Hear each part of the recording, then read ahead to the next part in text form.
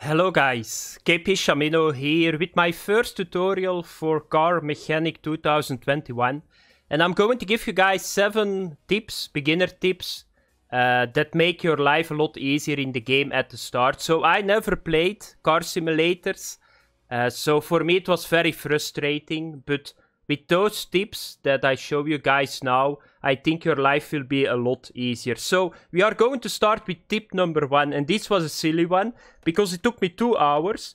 So what do you need to do? So you need to take an order. And if you take an order, you're outside your garage.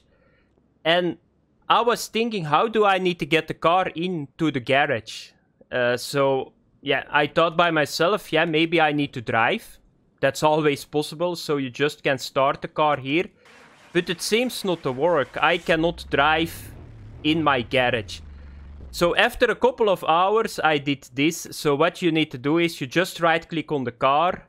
You just move the car. You click here and now your car is inside and you can work on the car.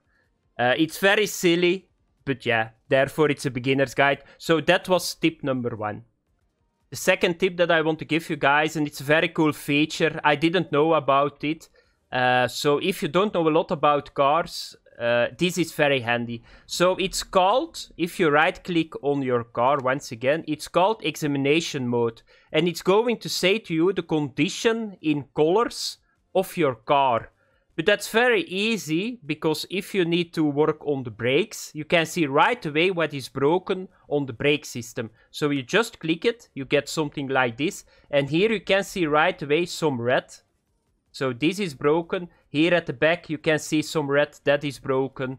And if you come here to the other side, you can see it's red too. So that's the second tip, guys. Very easy, and you can see right away what is broken on your car. And most of the time, you need to replace that part to complete the order. The third beginner tip, uh, it's it's like two tips that I'm going to give you guys in one because in the same menu. So what is the biggest problem that I saw? So I got a car here, but what do I need to do on the car? Because if you take the order, it's very vague. It's just saying there is a brake problem or something. Because this car got a brake problem. So there is a very cool feature that you can do that makes your life a lot easier. You right click once again on the body of the car. Then you go to car status. And here you can see everything what you need to do.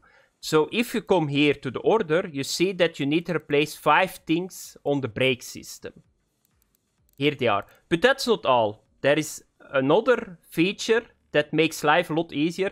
If you just click on it, you will mark them. And if you go to the car, you will see right away visual what kind of part you need to replace.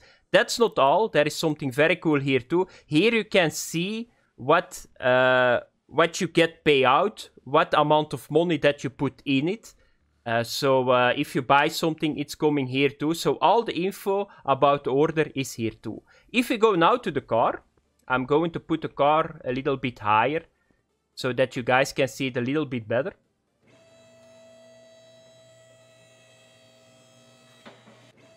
So this car had like a brake system problem. So if I come now under the car and I click on the section that is for the brakes, you can see right away here is a blue. At the back you see it a little bit better, so I need to replace this, this, and I need to replace this. It's very handy if you don't know anything about cars. You can just mark it, you go to the car and you think, oh, that's the part that I need to replace. So this makes life a lot easier it's a little bit game, game breaking in my opinion because uh, you don't need to learn anything anymore but it's it's for beginners guys it's so essential because otherwise you will get frustrated. The next part guys how you need to buy stuff. So it's a little bit the chain that i'm going to say to you guys. So we are back at the car and first of all what you need to do is try to empty your uh, what is it called? Let me, your shopping list. So you can get an item, you put it off the car, then you can put it on the shopping list, and then you can activate the shopping list on the, the buy menu.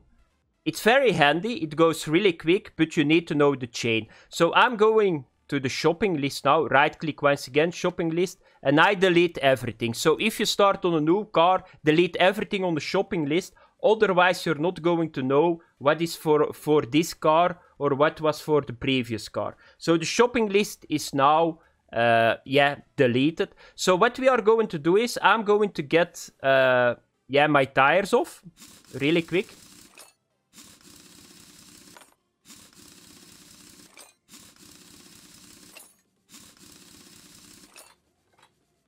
So here you can see it. So let's replace the brake system. So I'm going to take this off.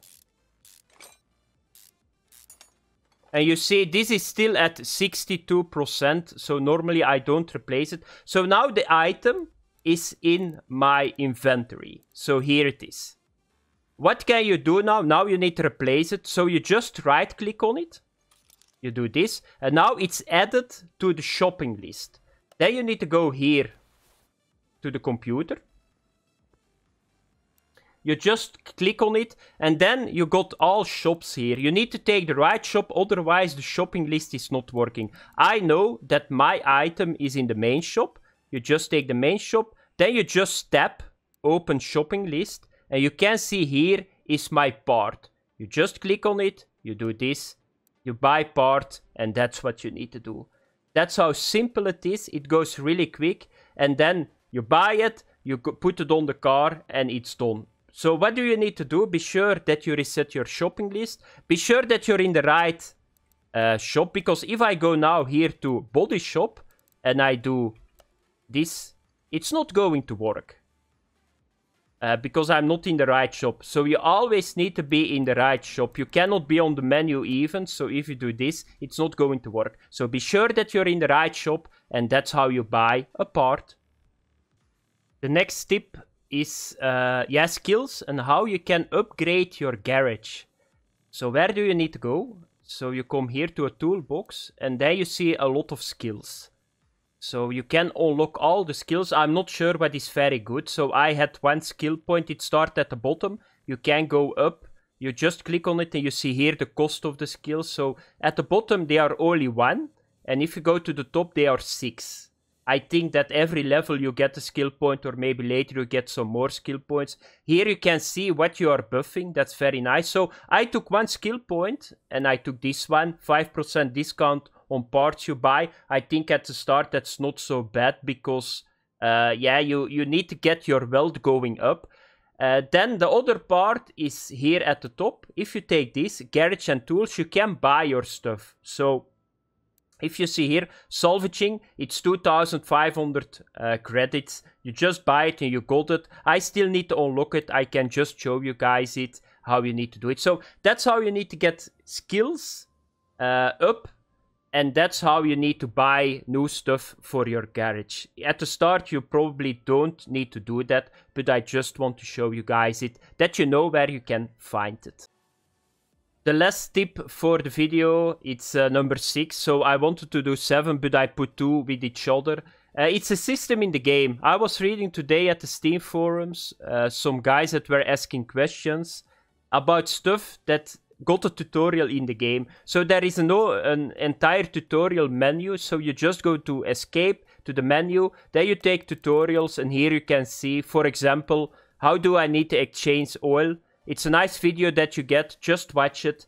And uh, it will solve a lot of uh, just basic problems that starter people will have. So that was a video guys, my first video. Uh, I'm going to play the game a lot more because I'm enjoying myself a lot.